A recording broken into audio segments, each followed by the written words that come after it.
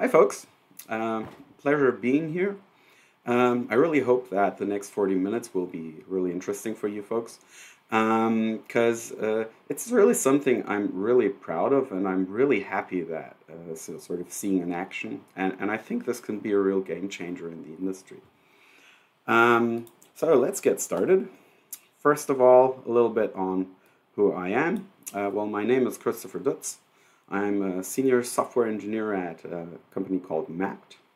Um, and uh, I've always been uh, and still are a real open source enthusiast. So all of my free time really goes uh, into all sorts of different um, open source projects, most of them at Apache that has sort of made me a, a committer and member of uh, a lot of the, the open source projects we have there.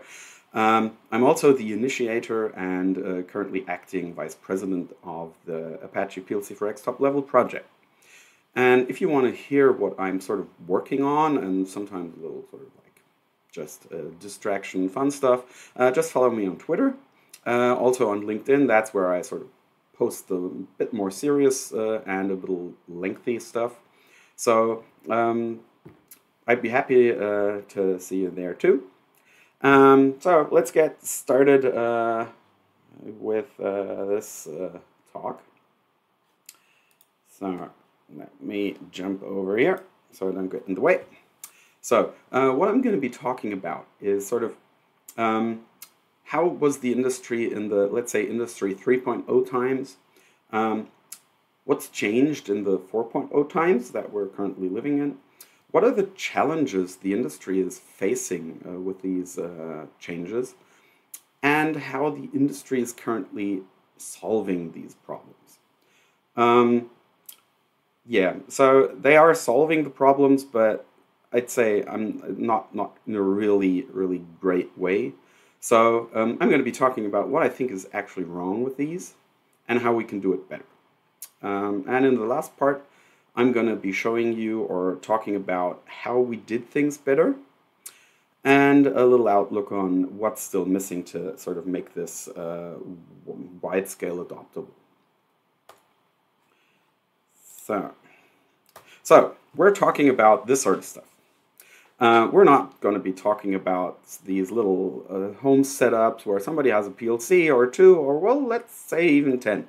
Um, it's sort of uh, not even my demo factory uh, that some of you might have seen um, is sort of applicable for this uh, sort of thing that we're talking about. Um, so we're talking about these these big ones there. Um, so what was in the 3.0 times? Well, in general, people say 3.0 industry 3.0. That was the time when uh, sort of uh, PLCs entered the, the stage, um, SCADA systems came up.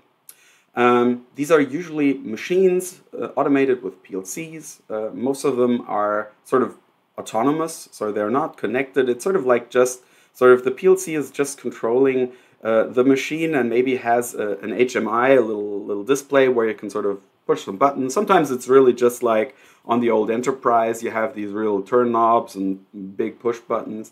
Um, not much more. Some, the, the, bit bigger ones, uh, they're usually connected to SCADA systems. Usually they belong to the, or, or, or are from the same vendor uh, as the PLCs because, well, that's the way uh, things worked in those times. Um, they were all proprietary and closed source software. Um, and, well, data acquisition in general was only done for, well, operation. Well, you sometimes need to get some telemetry uh, in order to know how to operate your machinery. Well, and sometimes for documentation. There are some regulatory rules. Uh, for example, uh, one, one that's particularly, um, let's say, intense uh, is the US uh, FDA regulations, the US Food and Drug Administration. So if you're selling anything to the US, well, you have to apply to uh, those rules. And um, well, if you want to sell any food and drugs uh, in the on the U.S. market, you have to follow those.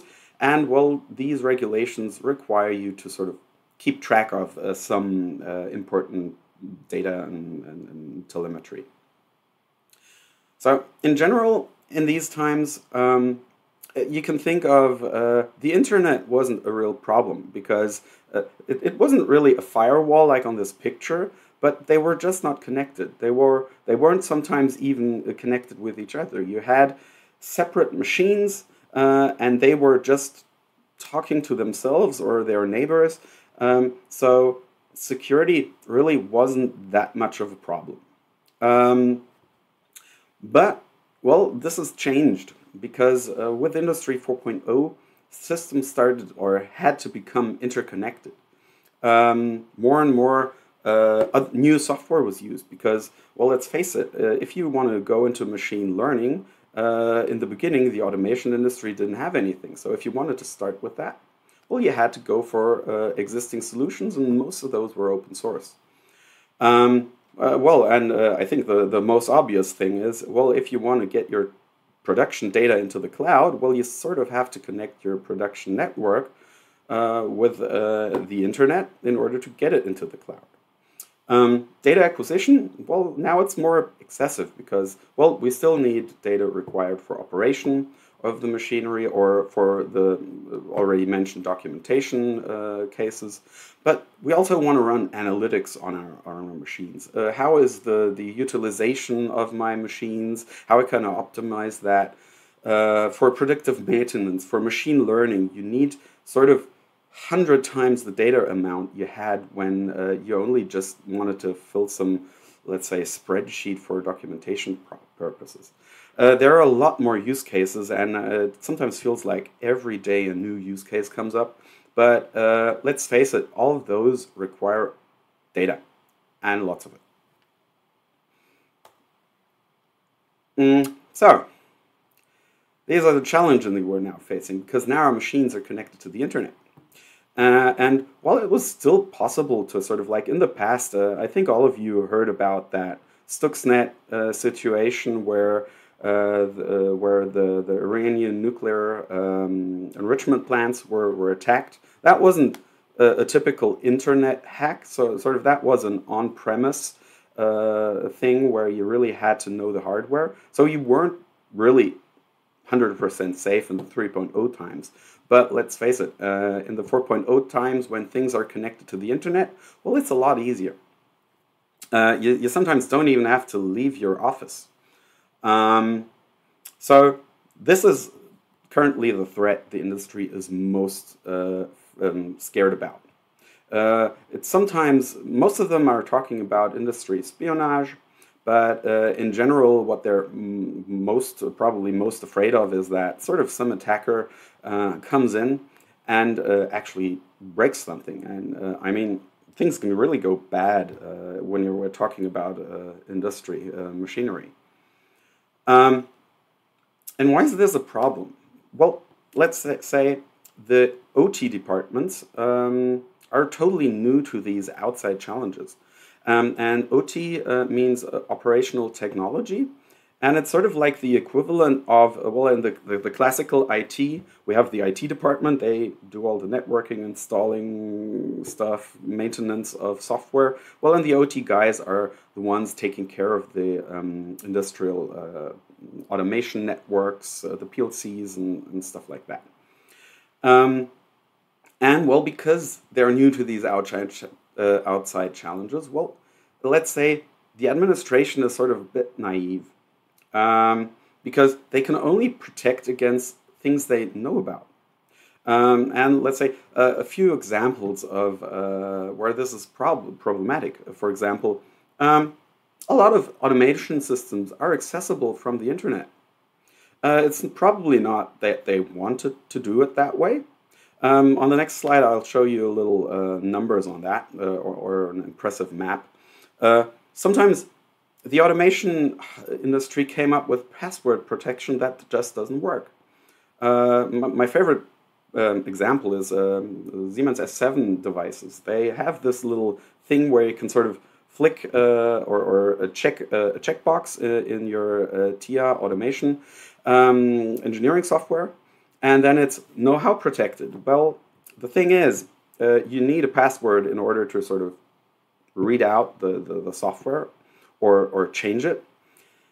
but the strange thing is, well, the way they implemented the password protection was uh, sort of like um, the, the engineering software connects to the PLC, uh, checks in the PLC if there's a little flag set. If it's set, well, they ask for a password, and then they compare the hash with a, a, a hash stored uh, in the PLC, and only if that matches, uh, they continue to work.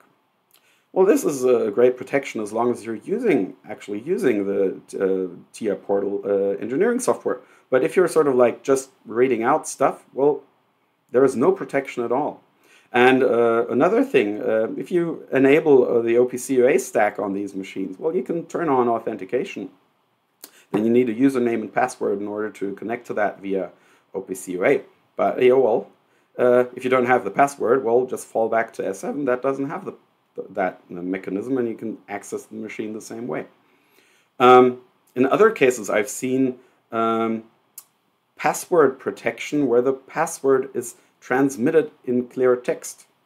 It's not even encrypted. So um, one, one case I've seen here was the, the Beckhoff ADS uh, protocol. They have a sort of, well, it's sort of not the ADS protocol. It's sort of the tooling around it. And we've seen uh, that if you use the engineering software and you say, oh, please uh, set up a, a, an AMS route. Uh, well, it uses some undocumented protocol. Well, and uh, you can see admin usernames and passwords uh, transmitted in clear text. So um, that's one of the reasons we're not going to be supporting that because actually using it is really dangerous. Um, so the only real secure option for protection is simply not to connect. And I promised you uh, the thing with accessible from the internet. Well, I just had a look just a few, two days ago, and um, here's the, I'm using a, a, search engine called Shodan.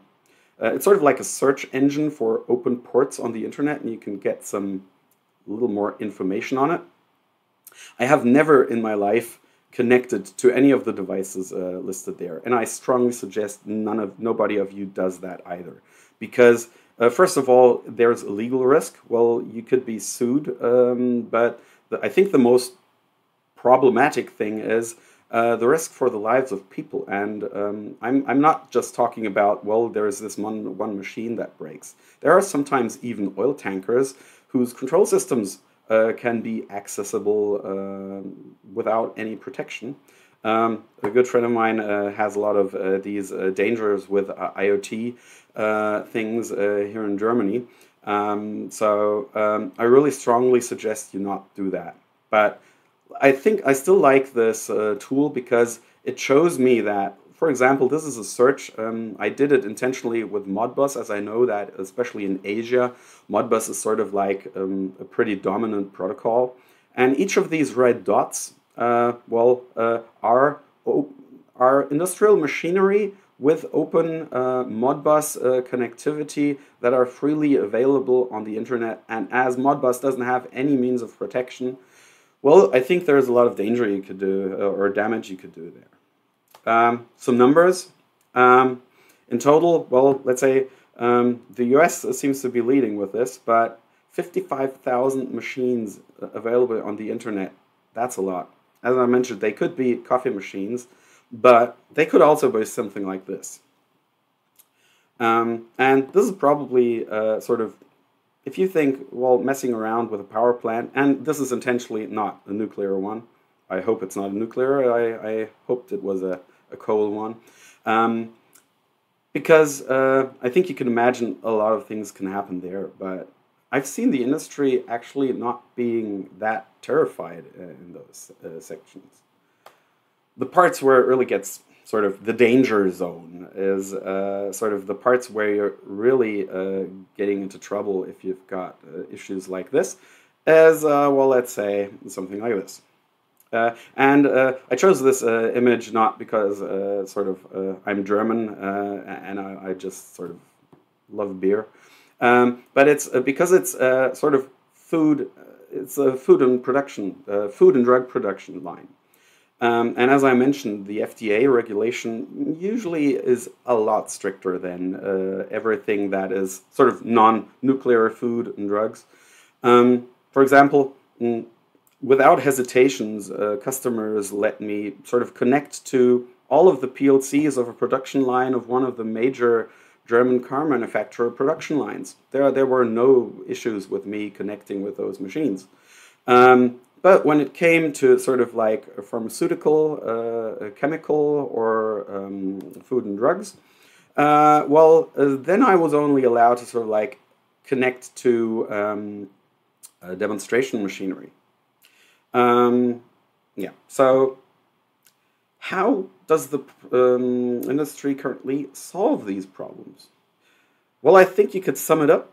Uh, it all comes down to sort of like they just invest a lot of money. They, it seems like they're just taking a huge pile of money and throwing it at the problem. Um, at least it feels this way. Um, and I have to admit, one money bag is just not enough. And it actually sort of feels more like this. This is just totally silly, the prices I've seen in the industry. Let's, if I just sort of like have a look at the licenses uh, I've paid for in, in, in the, the last year, well, let's say if I take the, the JetBrains All Products pack, uh, well, I'm, I'm sort of at 650 euros or something like that. Well, if you're a long-time customer like I am, it's probably a lot less, but uh, let's just uh, assume 650 euro. Well, that's okay. Uh, if you go for a Siemens TIA Portal professional engineering license for programming S7 devices and uh, other Siemens uh, devices, well, you're already at 3,500 euros or something like that. That's still not that bad. Uh, well, even well, if you got to update, um, well, there was recently a sort of a, a security vulnerability, and well, Siemens told uh, everybody to update their devices.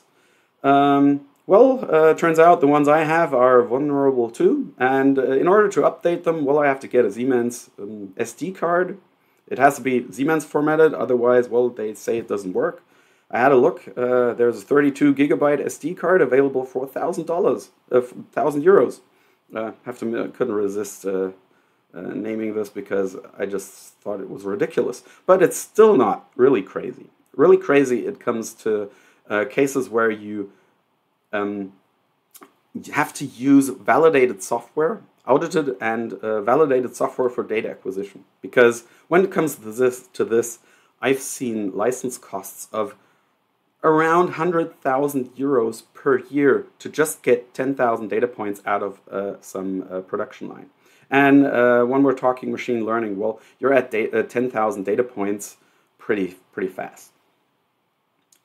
Um, so how does the current, or let's say, how does one of the solutions I've, I've uh, actually seen uh, look like? Well, it's sort of like this. You've got a chain of systems. Uh, you can see uh, at the beginning you have sort of the PLCs. They communicate with a SCADA system. This is sort of like the basic uh, things. Usually these SCADA systems have internal databases. So in this case, they had to sort of export the, the, the data uh, into an MS SQL server database because that was, well, the only supported one. Then they had some sort of SAP system that took data from the SA, uh, from the SQL server and did some SAP number crunching stuff with it. Ah, well, and then pumped it to an Oracle database. Um, this was all still in the secure production uh, network. Uh, so if they wanted to get data out, well, they had to buy this 100,000 and more uh, euros uh, expensive uh, software which was validated and audited software that was able to access this data uh, in the secure network.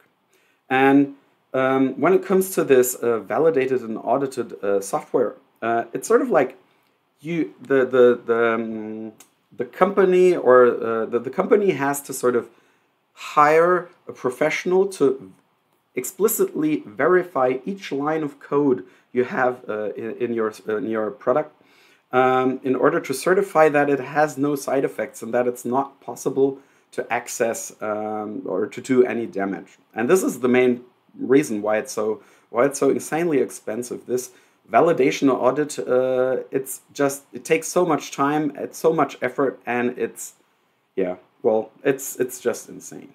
Uh, and on the outside, as soon as uh, there was data uh, on the outside, they were storing it in some historian um, and that you can just think of some really, really, really old SQL database. All in all, it sort of like just feels like sort of chaining stuff uh, uh, together and, and, sort of like, yeah, it's just not a pretty solution. Um, but well, some companies sort of didn't want to do that, and so so I've even seen uh, this as a solution. So they uh, use bicycle messengers to give hard drives a ride through the company um, uh, location. Um, they did that because it was a lot cheaper. They didn't have any problems getting budget for a bike uh, and somebody to ride the bike. Um, and uh, you would be really amazed how many companies actually have these bike messengers riding around with uh, hard drives in them. Uh, yeah, uh, this I found uh, after sort of one of our mapped uh, lock-picking community events. And I noticed, oh gee, sometimes it's really easier to pick an industrial protocol than it is to pick a lock. So I just, just out of fun, I I googled sort of is there sort of a physical lock for network devices? Uh, yeah, well, and uh, Siemens already has a solution for that. Um, so I also couldn't resist uh, showing you this one because uh, I actually think uh, sometimes this is actually one of the really good solutions. Mm. So, all in all, you can say, well, there is no open source involved in the current solutions to these problems because it's not validated software. Validation, as I said, it would require validation of the code, but in our case, or in case of open source, well, we would also have to validate all of the dependencies of the, of the project. And I think everyone uh, who's ever built uh, sort of a, a typical Maven built open source project, well, it's more than just one library you're pulling in. And validating all of these would just be insanely expensive. It would take an enormous amount of time. Uh, and it would completely kill the drive of an open source project because we would be going down from weeks of release cycles to years. Uh, and uh, despite nobody really wanting to pay for that, uh, well, um, we needed to come up with a different solution. And uh, being faced with this sort of like um, knockout criteria of, well, is your software validated? And I always had to say, well, no. Uh, and then usually I was out of the race. Um, I had to come up with a new solution. Um, so, what in general do I think is wrong with these? Well, first of all, I think the data flow through several systems, well, it adds a lot of latency. Um, as soon as there are a lot more parts in the picture, uh, there's a much higher risk of system outages. There is a much higher risk of conversion errors because every time, sort of, maybe there's some data correction, some mapping uh, done. Um, it's sort of like the, the data coming out at the end of the pipeline, it's not guaranteed to be identical to the one that came in. Uh, data corruptions, well, maybe maybe some of the solutions in between just isn't doing uh, doing its job correctly. Um, and well, complexity kills innovation because uh, in this one case, um, the company had the problem that they had data scientists and they wanted to work on data because, well, that's what data scientists sort of do. Um, so every time they wanted a new bit of data, uh, they, four or five systems had to be adjusted. Um, and also, well, let's say the, the expenses kill innovation. If you if you want to sort of optimize your production to sort of be uh, sort of save you 50,000 euros in production costs each year. Well, if you have to pay 100,000 euros of license costs, well, well, it just doesn't it doesn't doesn't sum up. And well, in the end, it still doesn't guarantee safety. Um, because now you might be thinking, oh, well, but every line of code has been validated and audited. How can this not be safe? Well, uh, I think all of you have heard in the last few years these um, uh, exploits like Meltdown and Spectre. Um, well, the thing is, even if those might not directly be sort of a good vector for attacking uh, such uh, validated software, uh, but in general, what I want to point out is that sort of if you sort of get to compromise the hardware or the, the, the, the processors your software is running on, it's just no good to sort of rely on uh, being validated and audited because, well, maybe you can just change what's happening underneath. And for example, Meltdown and Spectre. Um, all Intel processors were vulnerable uh, that were produced in the last 20 years. so, how can we do it better? And uh, well, uh, in the background, you can see uh, our project mascot Toddy and his new best friend uh, Gopher uh, sitting in my little demo factory that I built last year. Um, so, how can we do things better with Apache PLC4X? Well, um, well, I'd say we need more, more open source in the industry.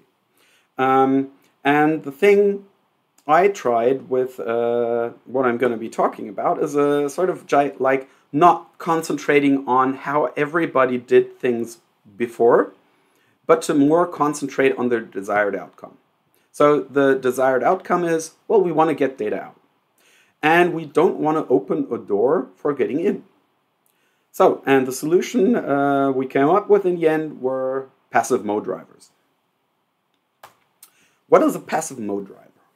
Well, uh, first of all, all traffic is forwarded uh, to a listening agent. Uh, this passive mode driver running on the agent uh, intercepts all requests, response messages, subscription requests, and event messages.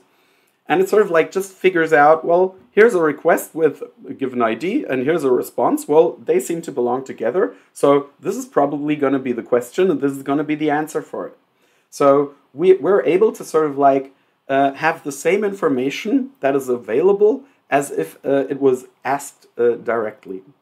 Um, and the tricky part is sort of like joining those together. With re requests and responses, well, it's not too difficult because, well, it's sort of like in most protocols, in the request, you describe what you want, and in the response, uh, uh, you just have to decode it. But uh, when it comes to subscriptions, it's a bit more difficult because you have to sort of like intercept the subscription that might be happening quite a lot uh, quite some time before an event comes in. So you have to keep track of all the subscriptions. Uh, and these might even change over time. So you have to keep track of that. And um, sort of in order to know how to interpret those responses. Um, you can also sort of on these, um, you don't have to forward all of the traffic because that sometimes can be quite excessive. Um, you can also just sort of like filter uh, certain protocols or, or certain ports or just certain ho hosts. Um, but all in all, well, that's the, the, the general picture. Um, but how do these ensure we're actually safe?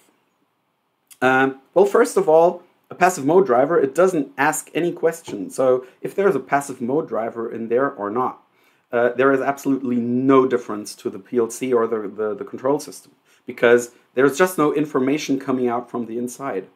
With uh, regular active drivers, well, even if you think, uh, even with read requests, it's pretty easy to uh, completely shut down a PLC by just asking it too many questions. And passive mode drivers don't ask questions, they just listen, so they, they, it's just impossible to uh, interfere. But how can we ensure things are safe uh, on a hardware level? Well, what we usually do is we use a managed switch with a monitoring port that's just configured to not allow incoming traffic. Uh, for a lot of cases, this might be sort of okay, but uh, some people still don't trust uh, sort of uh, vendors of uh, network hardware. So what we can do is we can add one layer, uh, and that's one, one thing I call a data diode. Um, and I'm going to be talking about that in a few slides. Um, but all of this makes it really hard to interfere with the network. It doesn't make it impossible because in that one particular case where we wanted to use it, that still wasn't enough. Because uh, even if technically the, the, the firmware of the device was perfect, you couldn't sort of prevent somebody from just putting high voltage on this uh, Cat5 cable and just uh, frying everything in the production network. So um, if you just add an optical link, well, that's another problem you can sort of uh, take out of the equation. And with a sort of a data diode combined with an optical link, I think it's really almost impossible to sort of interfere from the outside. And the good thing is, as your software isn't sort of like asking any questions and it is guaranteed to sort of not have any interference with the, with the inside network, well, there's no real need to validate the software. The system is what, what we call secure by design. And uh, the, the good thing is it's also insanely fast. And more on that on uh, the showcase uh, I'm going to be talking about later. Uh, and one thing, um, if you imagine still, um, let's say if we're using the data diode, um, still you have to sort of trust uh, this, but validating hardware is a lot easier than validating the, the, the, the program for a software. Uh, so if you want to validate the, the, the circuitry and the firmware of that data, data diode, it's a lot less code. It's a lot easier. It's a more general purpose. So it's, it's, it's a lot cheaper and it's a lot more secure. So this is a, sort of the big picture of what we came up with. So in the end, we have uh, the PLCs talking to the SCADA system just like they were unchanged. Uh, we configured the monitoring port uh, attached data diode. And on the outside, we had a, sort of a, a Raspberry Pi uh, running, um, running a PLC4X passive mode driver.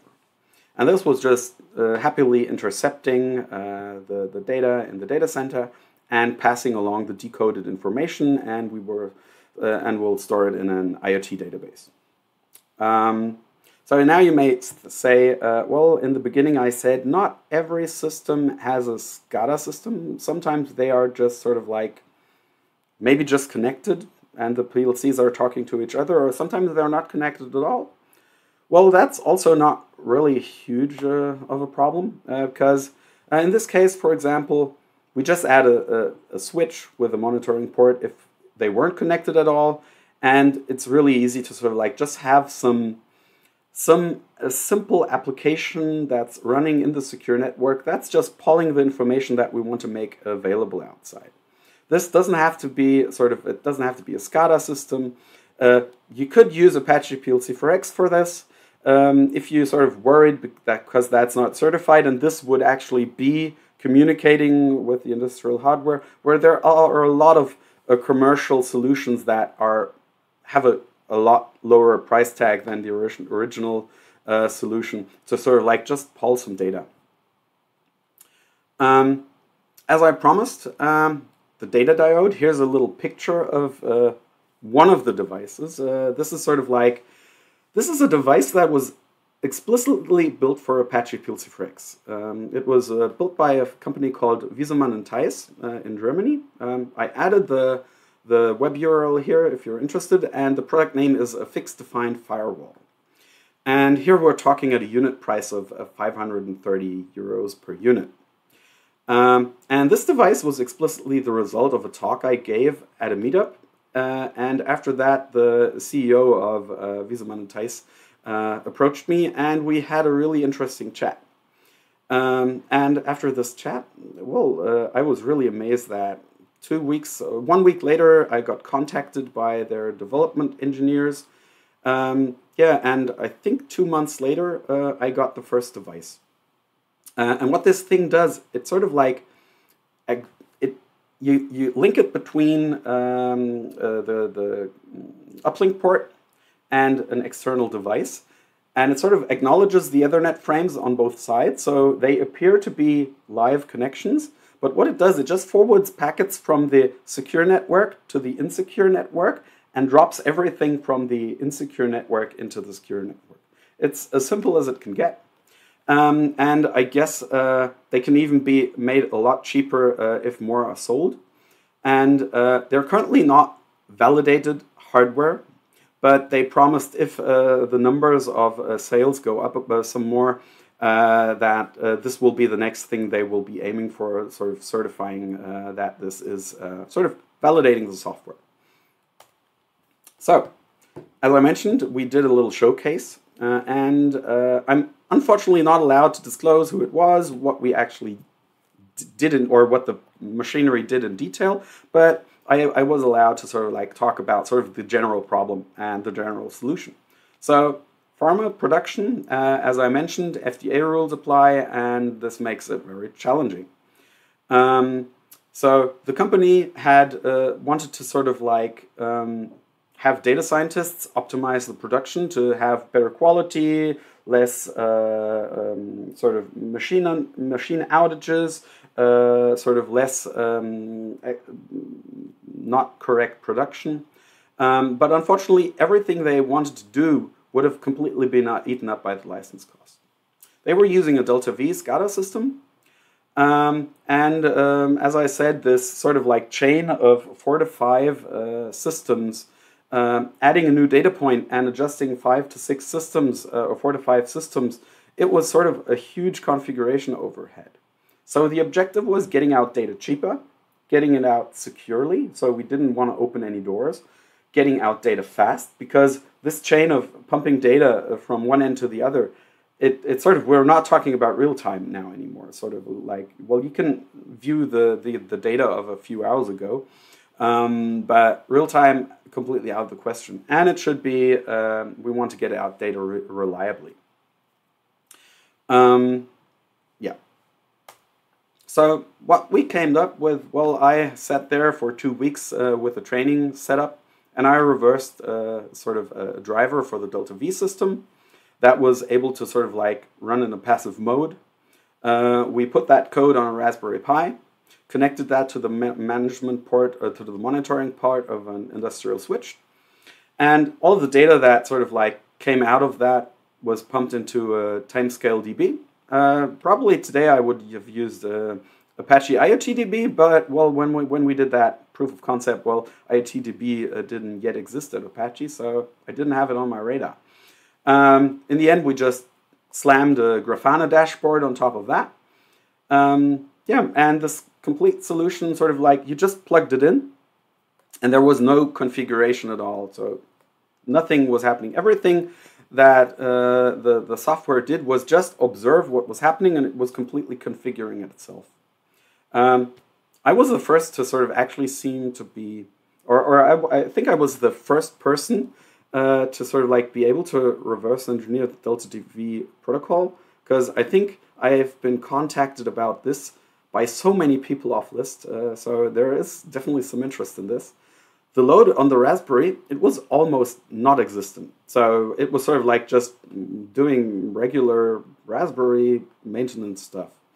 Um, the load on the monitoring system, as I said, uh, it, it just, there was no additional load on the system because, well, if you don't ask questions, you don't cause work.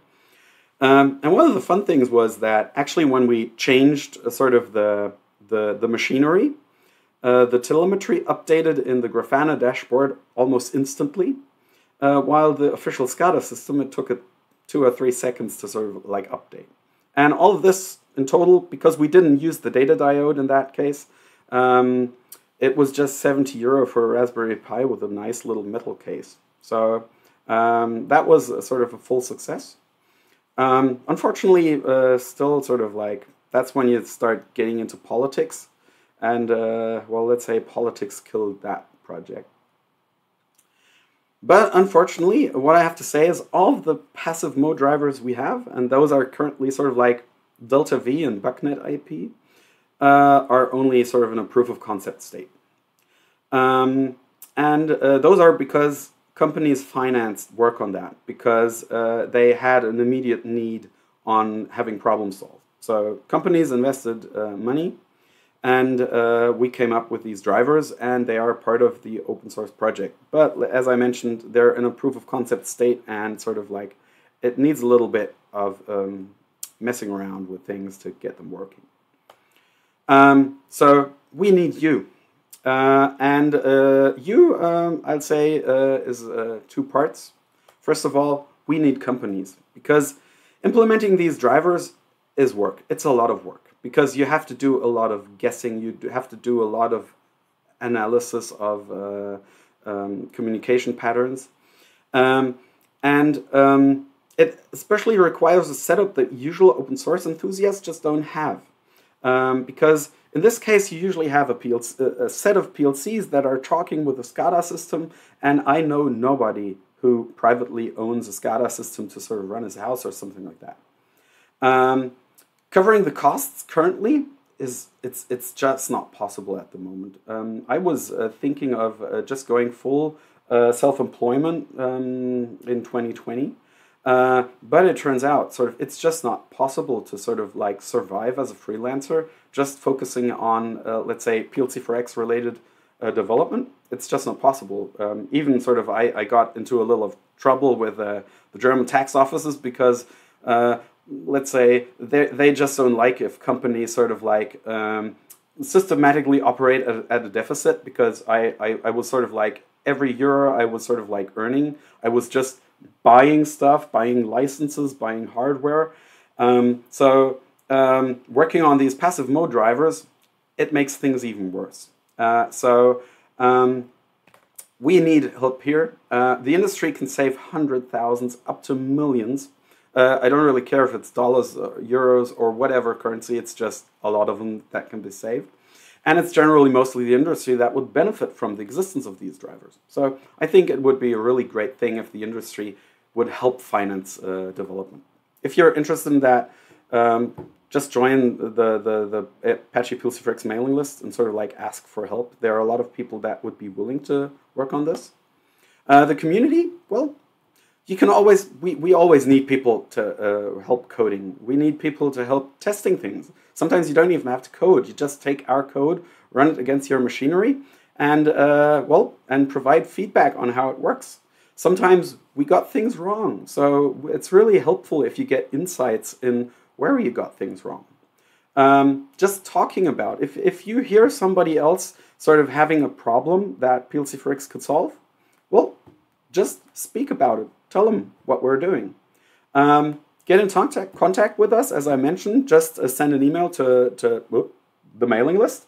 Um, subscribing, um, just uh, send an email to devsubscribe at uh, plc4x.apache.org or follow us on Twitter. We've got the um, Apache PLC4X uh, Twitter account where we post interesting stuff um, about the project. So, where can you get more information? Well, Lucas already had a talk uh, on PLC4X for CAN. Uh, you can uh, see the recording. That's probably going to be available later on. Uh, I'm going to have uh, four more talks uh, in the next few months. One's going to be at ApacheCon on Polyglot Apache PLC4X, sort of how we bring PLC4X to Java, C, Go, maybe Python, .NET, stuff like that. Um, on the Linux Foundation OSS Summit, I'll be talking about embedded drivers uh, for uh, industrial communication uh, with uh, code generation. So how we're using code generation to build embedded drivers. Uh, there's a German IoT conference where I'll be talking about how to retrofit legacy production systems with uh, PLC4X. And the last one so far this year is going to be uh, high performance ingestion of uh, industrial production data at uh, the Eclipse Con this year. So this is the first time I'm going to be having this hat trick of being speaking at all three big major foundations, but looking forward to it. And would be super happy on seeing some of you um, at one of those. So, thank you for listening. Um, and uh, yeah, I hope it was interesting for you. And if you have any questions, well, don't ask me because I'm going to be, uh, uh, well, this is just a recording, but uh, I'm going to be also uh, sitting uh, in the chat and probably going to go on stage after the, the talk to answer your questions. So don't hesitate, I don't bite. Um, and yeah, looking forward to interacting with you. Bye.